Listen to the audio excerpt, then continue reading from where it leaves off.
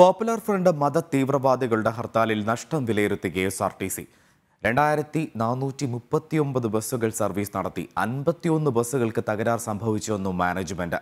അക്രമത്തിൽ പരിക്കേറ്റ ജീവനക്കാർക്ക് നഷ്ടപരിഹാരം നൽകണമെന്നാണ് യൂണിയനുകളുടെ ആവശ്യം. പോപ്പുലർ ഫ്രണ്ട് മത തീവ്രവാദികൾ പ്രഖ്യാപിച്ച ഹർത്താലിൽ സംസ്ഥാനത്ത് വ്യാപക അക്രമമുണ്ടായപ്പോൾ ഏറ്റവും കൂടുതൽ നഷ്ടം സംഭവിച്ചത് കെ എസ് ആർ ടി സിക്കാണ്.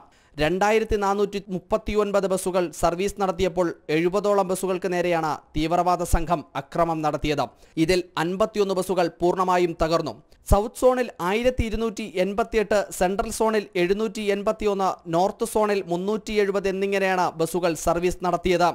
ഇതിൽ സൗത്ത് സോണിൽ ഇരുപത് സെൻട്രൽ സോണിൽ ഇരുപത്തിയൊന്ന് നോർത്ത് സോണിൽ പത്ത് ബസ്സുകൾക്കാണ് കല്ലേറിൽ തകർന്നത്.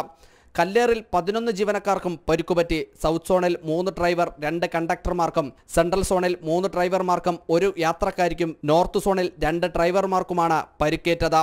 ലക്ഷങ്ങളുടെ നാശനഷ്ടമാണ് K S R T C management വിലയിരുത്തുന്നത്. അതേസമയം പരിക്കേറ്റ ജീവനക്കാർക്ക് നഷ്ടപരിഹാരം നൽകാൻ മാനേജ്മെന്റും സർക്കാരും തയ്യാറാകണമെന്നും യൂണിയനുകൾ ആവശ്യപ്പെട്ടു. ഹർത്താൽ ദിനത്തിൽ സർവീസ് നടത്താൻ തയ്യാറായ ജീവനക്കാർക്ക് സുരക്ഷ ഒരുക്കുന്നതിൽ സർക്കാരിന് വീഴ്ച പറ്റിയെന്നും യൂണിയനുകൾ കുറ്റപ്പെടുത്തി. അഖിൽ പാലോട്ടുമടം ജനം തിരുവനന്തപുരം